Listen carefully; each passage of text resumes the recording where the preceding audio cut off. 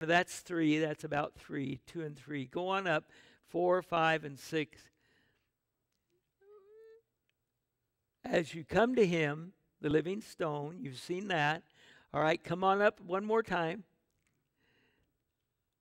Scripture says, See, I lay a stone in Zion, a chosen and precious cornerstone. Now let's go up one more. As you come to him, the living stone, what are you to do? Keep going. One more. Yeah. For in Scripture it says, one more. now, to you who believe, this stone is precious, but to those who do not believe, the stone the builders rejected become the capstone, and ah, a stone that causes men to stumble and a rock that makes them fall. They stumble because they disobey the message, which is also what they were destined for. But you are a chosen people. There we go. You are a chosen people, a royal priesthood, a holy nation, a people belonging to God, that you may do what? Declare the praises of God who called you out of darkness into his wonderful light. Once you were not a people, but now you are the people of God. Once you had not received mercy, but now you have received mercy. Dear friends, I urge you as aliens and strangers in the world to abstain from sinful desires which war against your soul. Live such good lives among the pagans that though they accuse you of doing wrong, they may see your good deeds and glorify God on the day he visits us. Now let's look at it for just a moment. Someone asked me in the restroom a while ago, and I won't tell you who it was, Bob Collier. I won't tell on you.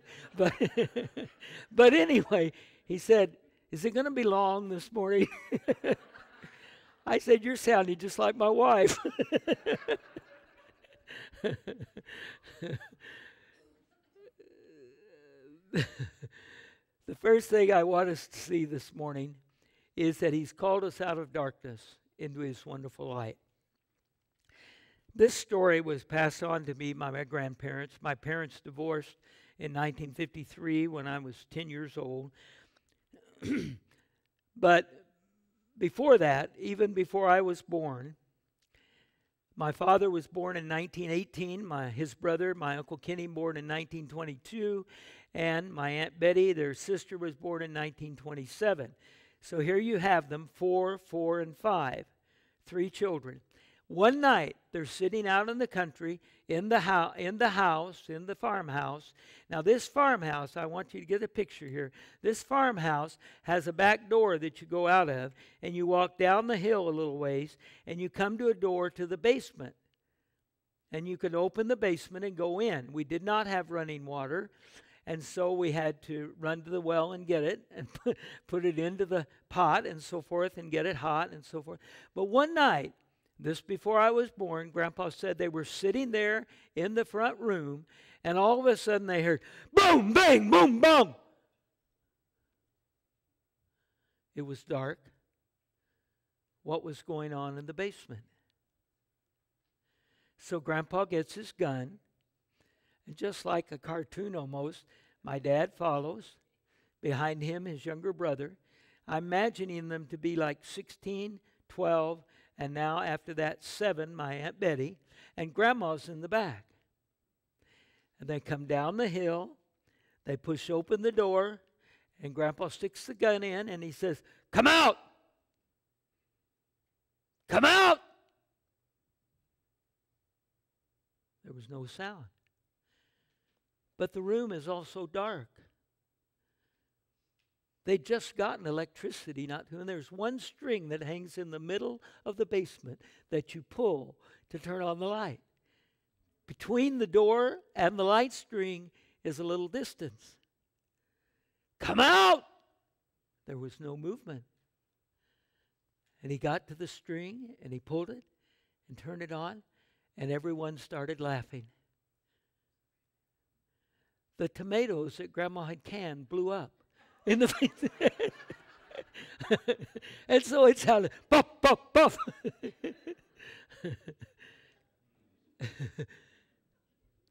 but when you're walking into darkness, it's kind of scary, isn't it? You don't know what you're facing. But the great good news is He's called us out of darkness into His wonderful light. And I'd like to share that with you for just a few moments. Hopefully, it'll be soon enough for Bob to get his lunch today and get on the road. Number one, God has called us to live a life, to live a life that is different than the world's. Do you know that what you and I do in our lives will often speak louder than the words we say? The things that people see in our lifestyle will often speak much louder than the very words we, that come forth from our mouth. And right here, Peter is telling us now that you have purified yourselves by obeying the truth, so that you have sincere love for your brothers. Love one another deeply. Now, you don't have to go around like Jeff Moore and give everyone a really big hug, but it's great. I love it. Every time I come, I look forward to it, except when I hurt my ribs the other day. But other than that, I look forward to that. And to love each other deeply means to think of each other's needs. What do you need? that I could provide for you? How could I help you? Love each other deeply. Because in this world, there is not that kind of love. The grass withers, the flowers fall, but we've been born to a different type. We've been born to an eternal Word, the Word of God. That's Jesus. In the beginning was the Word, and the Word was with God, and the Word was God. In the beginning, He was with God, In the same in the beginning with God. That's Jesus, our Word. So, number one, let's examine our lifestyle. Do you say one thing and do another? I told you you might not like me after we finish today. So I'm going to ask some hard questions. Do you say you're a Christian, but the way you live depicts otherwise? You say you are a son or a daughter of the King of Kings,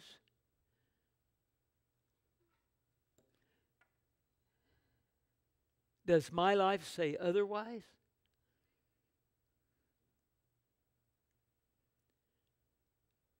Remember what Paul said, or the writer of Hebrews, whoever you consider, in Hebrews 12 14? Without holiness, no one will see the Lord. We have an objective, don't we? As children of the Son of God, we have an objective to so live our lives that they bring glory to the Father. He's called us out of darkness into His wonderful light for what? To declare the praises of Him who did this for you and for me. Secondly, okay, am I going fast enough, Bob? Secondly, we need to reject our enemy the devil. Your enemy, the devil, prowls around like a roaring lion looking for someone to devour. Resist him, standing firm in the faith, because you know that your brothers throughout the world are undergoing the same kind of sufferings. And the God of all grace, who called you to his eternal glory in Christ, after you suffer a little while, will himself restore you and make you strong, firm, and steadfast. To him be the glory forever and ever. Amen. That's 1 Peter 5 if you want to flip ahead. He, He has called us to resist the enemy. James 4 7 and 8 tell us what? Resist the devil, and he will flee from you. He's a coward. If you know your enemy's a coward, why do you want to be afraid of him? Well, because I can't see him, for number one. But We have help that's indestructible. God. Is that not right? Isn't that what the first part of First Peter said? Now we're into the first second part of First Peter.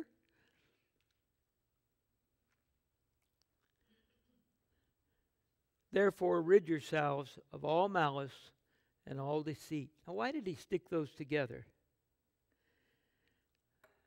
Have you ever felt like someone was saying something out of one side of their mouth and really was meaning something else?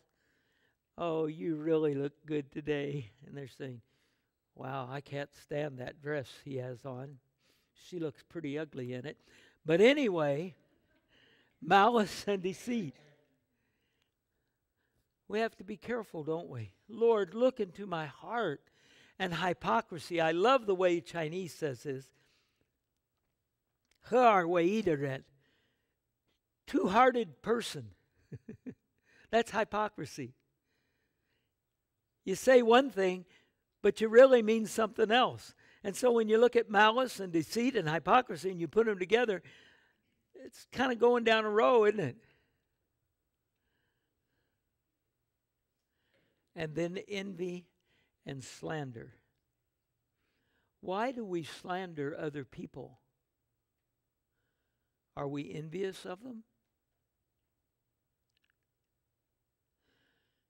Hard questions, isn't it? But he tells us to put all these away. And then he says further down, and I don't often jump from like verse 2 down to verse 11, but he says, Dear friends, I urge you as aliens and strangers in the world to abstain from sinful desires that war against your soul.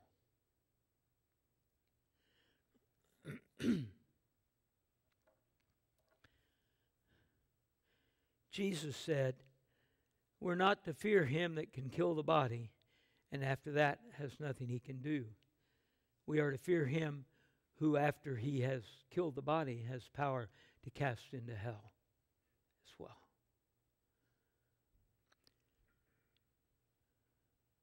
I ask you this morning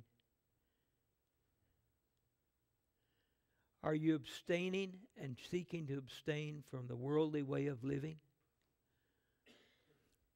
Coming back to America this time, there's several things that have been disturbing to me, but one of them is this confusion about genders. How many genders are there? Well, God said, In the beginning, I created the male and female. So if you're having trouble figuring it out, we'll be glad to accompany you into the restroom if you need that help. But I imagine you could just take off your clothes and look at yourself and decide biologically, which are you?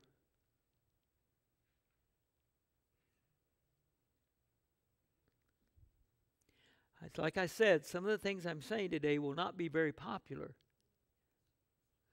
That isn't my purpose. my purpose is for us, dear friends, I urge you as aliens and strangers in the world to abstain from sinful desires that war against your soul. And coming back, Patrick Mahomes, Matthews, they have a little girl. But now they're talking about getting married. Well, good for them. What's the matter with what God said? Thus a man shall leave his mother and father and cling unto his wife. What happened to that? And I like Patrick Mahomes. In fact, he talks about being a Christian and so forth, but somehow it doesn't jive in my way of thinking. Am I too old?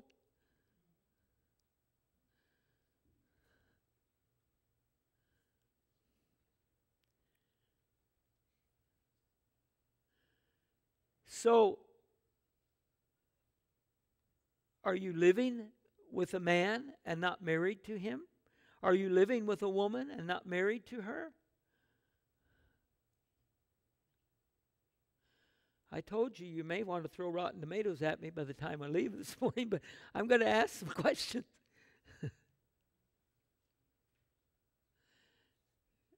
and even though you may not believe it, and I don't think I have a Shinar Idarin, when I say this, I do love you. Otherwise, I wouldn't speak like I'm speaking this morning. So, number one, live a lifestyle that honors Him. Number two, resist the devil. Resist him. And number three, submit to God. Now, that's a pretty easy outline for you to remember, isn't it? Lifestyle, resist the devil, submit to God. Why? Because we have a living stone that is precious to God. He was chosen by God and he's precious to God, and he will not allow us to stumble. If,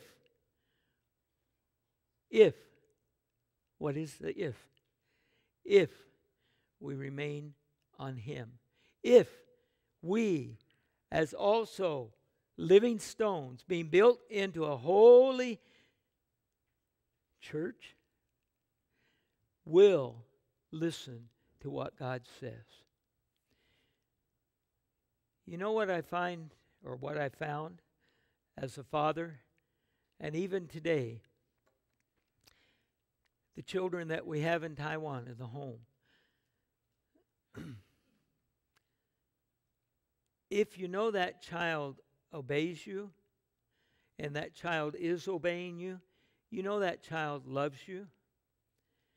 They may, inside of them, have a little different spirit. I may be obeying you now, but I'm standing up on the inside, that type of attitude.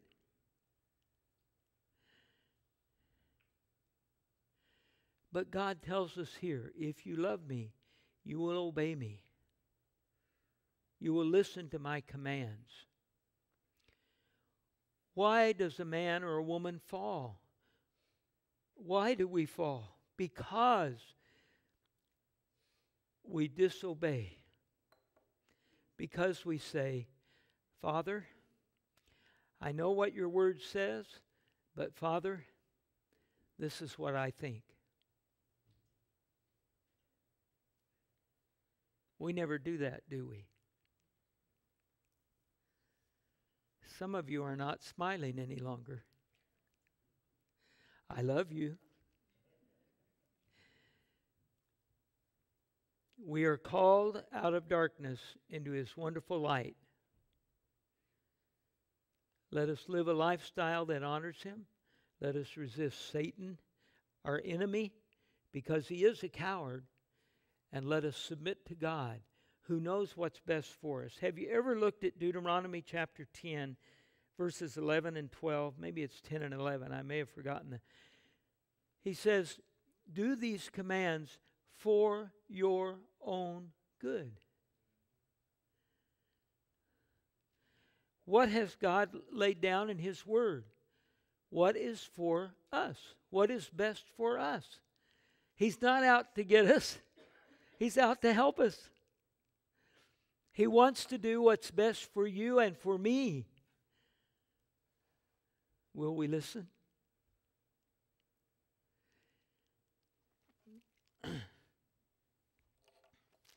this week I received, this, by the way, is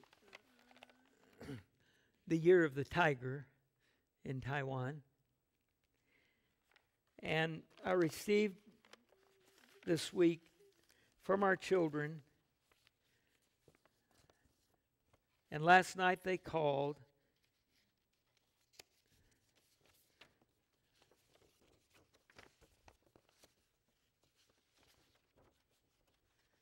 And it brought tears to my eyes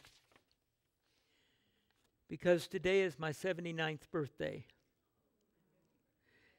And these are birthday greetings from the kids. Now, you can look at them if you want to, but I doubt if you'll be able to read them. but you're welcome to look at them.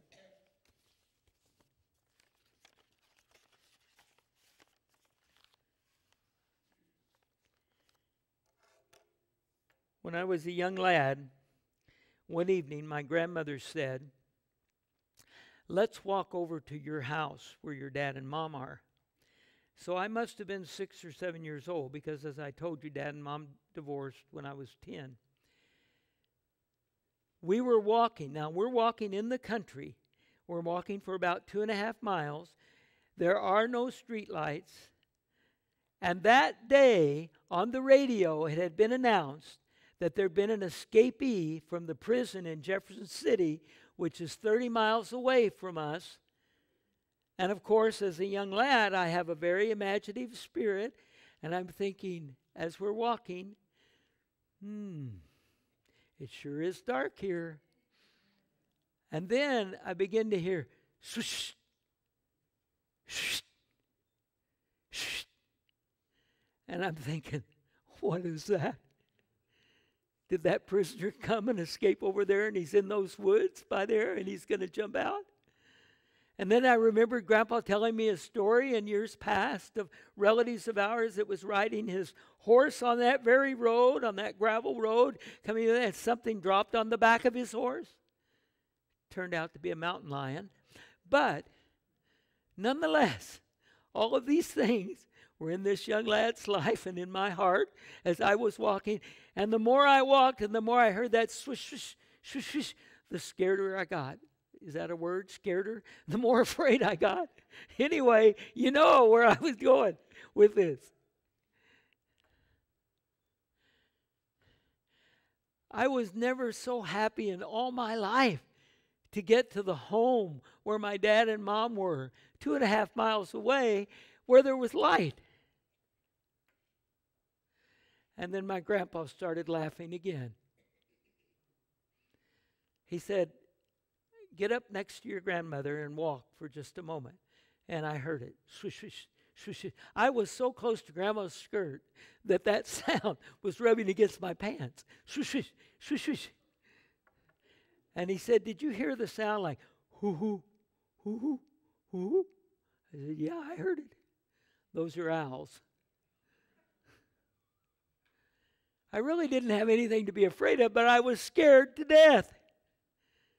It was dark, and I didn't like it.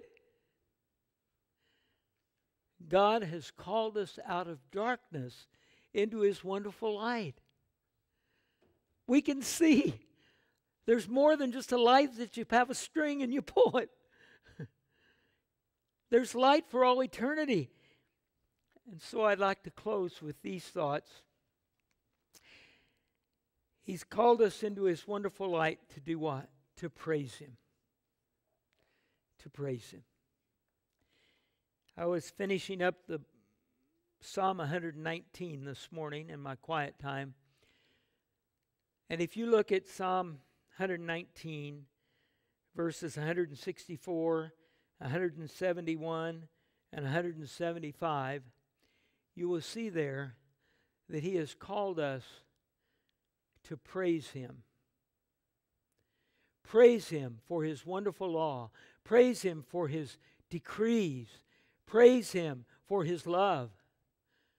And you look at Psalm 86, verses 11 and 12, and He says, He has called us, and we're no longer in darkness, but we're walking in light because of His word.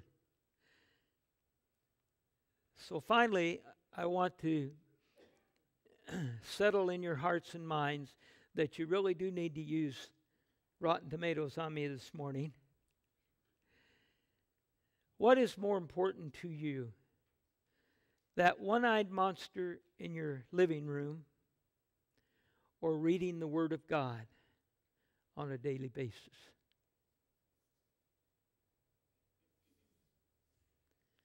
Now, look, preacher, I think you said enough. You're stepping on toes.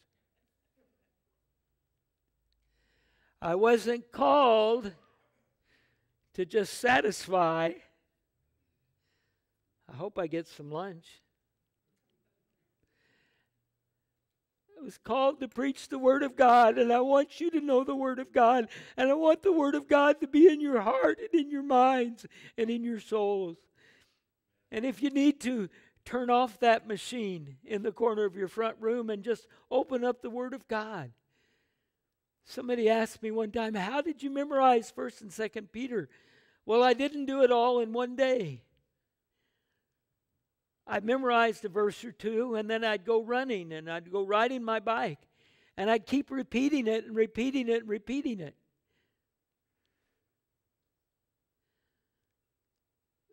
But we need to put the word here. And again, I remind you of Psalm 119, verses 9 to 11. How can a young person, I like the Chinese better than English, not how can a young man, because it's a young woman just as well. How can a young person keep his life pure? By taking heed unto your word. I will seek you, Lord, with all my heart. Do not let me stray from your commands. Your word have I hidden in my heart that I might not sin against God. Who do you and I want to please in this life? More than anything else in the world, I pray it's like Abraham when he was ready to sacrifice Isaac. I pray it will be God, whatever you say.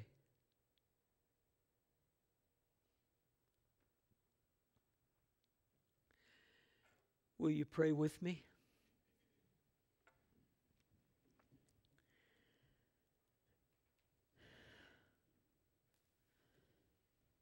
Father, thank you so much for Jesus. Thank you for life in Him. Thank you for the privilege that we have to share together today. Thank you that we can remember the sacrifice made for us to give us a living hope an incorruptible inheritance, an indestructible power that saves us. Oh, Father, thank you. And help us to love you with all of our heart, our soul, our mind, and our strength. Help us to put your word in our hearts and our souls. Use us, O oh God, and mold us that we might be the children that you want us to be.